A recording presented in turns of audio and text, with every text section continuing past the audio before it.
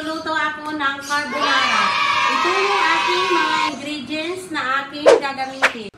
Meron tayong half kilo na pasta noodles, mushroom, ibap milk, uh, Nestle cream, cheddar cheese, cream cheese, tapos syempre ang ating bacon, at onion, tapos garlic, at saka yung ating powder na black pepper. Ngayon, nagpapakulo ako ng tubig para sa ating pasta noodles. So, antayin ko lang itong kumulo. Ayan. Pwede ko nang ilagay yung ating pasta noodles.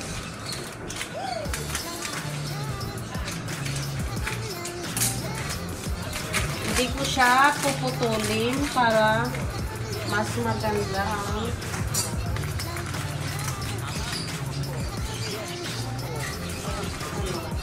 kalalabasan ng ating carbonara.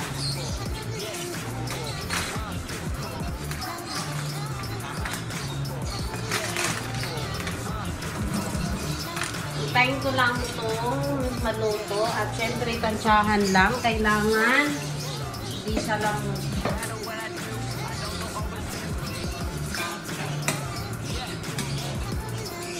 yan para pa.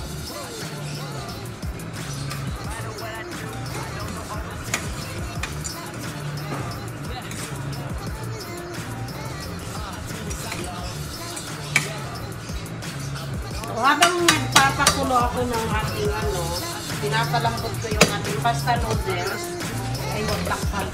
Open lang. So, ito, pag ginanito ko na medyo ah, ano na siya, yan, sakto lang yung pagkaluto niya.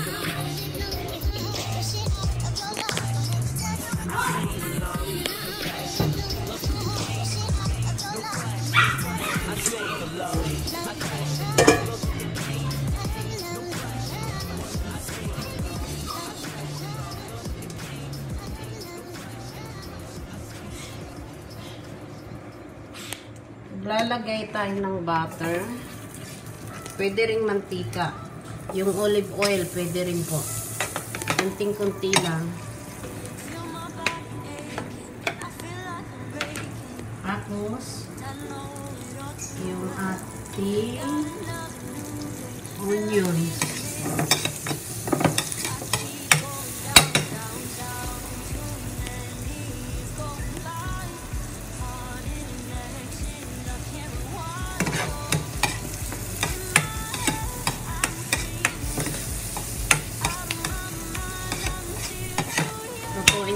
Natin konti. Pwede na ilagay yung bacon. Ito na yung bacon natin. Susunod ko yung ating duck milk.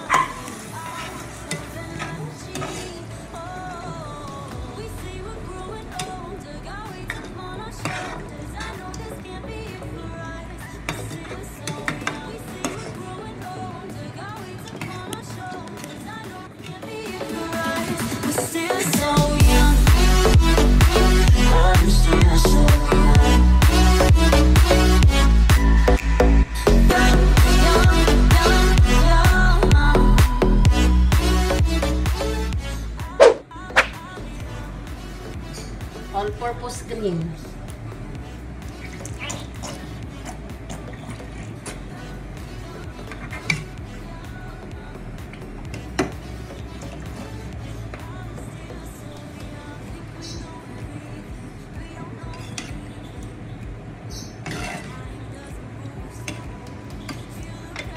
At yung ating cream cheese. Isa sa nagpapasarap to.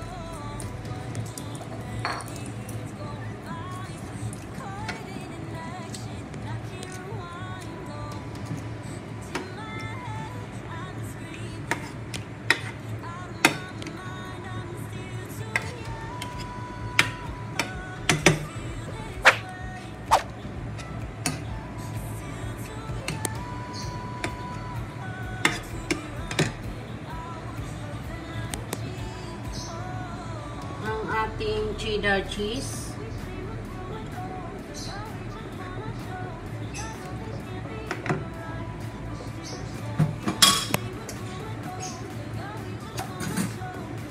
Tapos yung mushroom.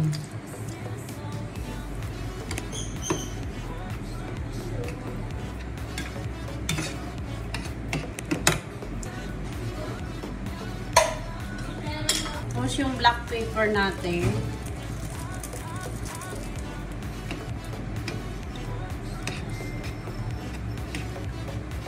Lalagyan natin siya ng konting salt.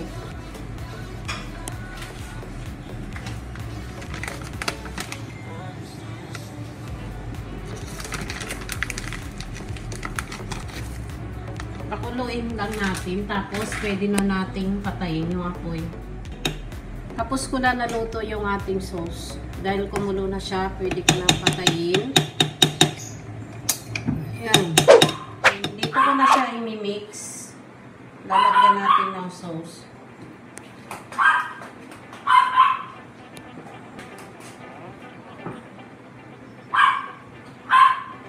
Pwede nyo rin i-mix na doon pa lang habang ano, sa kawali. Pwede rin ganito.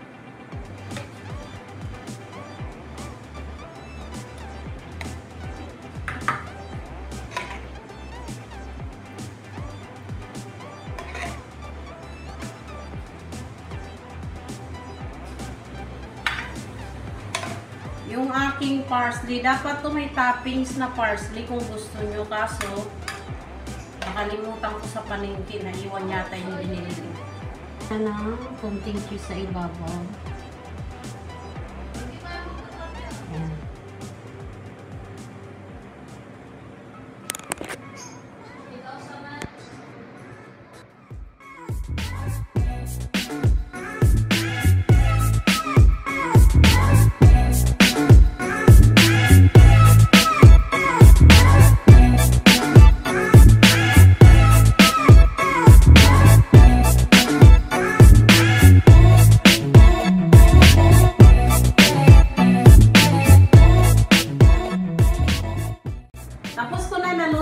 Aking creamy carbonara. So, hanggang dito na lang po yung aking pang fourth vlog. Kung mayroon po kayong gustong i-request sa akin, paki-comment na lang po sa comment section kung ano ang gustong recipe nyo ipapaluto. Shoutout nga pala sa mga kababayan ko sa Siargao, lalo na sa Pilar Siargao, sa mga kababayan ko, Marajaw na Adlaw, kumusta sa kanan. Thank you so much for watching guys. Mga mamshis, maraming salamat po. At sa hindi pa nakisubscribe, pakisubscribe na lang po at pakiclick na rin ang notification bell para lagi kayong updated. Good luck everyone. Thank you so much.